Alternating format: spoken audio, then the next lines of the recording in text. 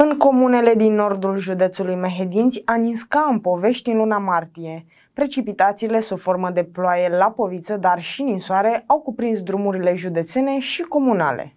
Ninge ca în povești în zona de munte a județului Mehedinți. Chiar dacă ne apropiem de mijlocul lunii martie, zăpada nu a încetat să apară. Mehedințenii se așteptau la temperaturi cu multe grade Celsius, însă vremea este instabilă.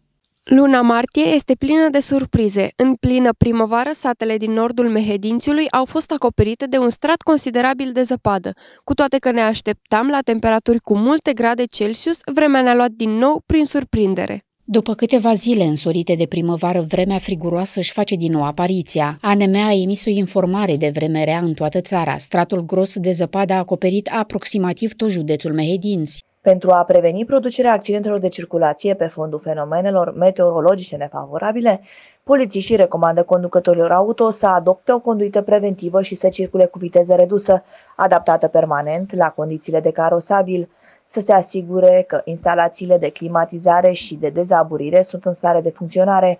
Dacă mașina nu este prevăzută cu funcția de dezaburire, se folosește aerul condiționat îndreptat către parbriz și lunetă să păstreze în mers o distanță mai mare față de autovehiculele care circulă în față pentru a putea opri în condiții de siguranță atunci când condițiile de deplasare sunt nefavorabile.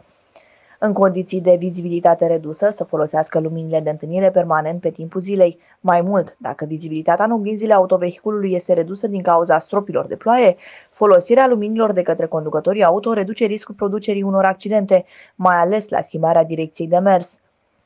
Pe vreme de ploaie, la povițe sau în soare, să acționeze din timp șergătoarele de parbriz, când observă că din sens invers vin alte autovehicule, câteva momente de circulație fără vizibilitate pot fi fatale. Să nu acționeze brusc mecanismele de direcție sau de frânare ale autovehiculului, în condiții de zăpadă și polei, să renunțe pe cât posibil la pedala de frână, să folosească cu precădere frâna de motor. IPJ Mehidinți informează cetățenii cu privire la măsurile de circulație preventivă.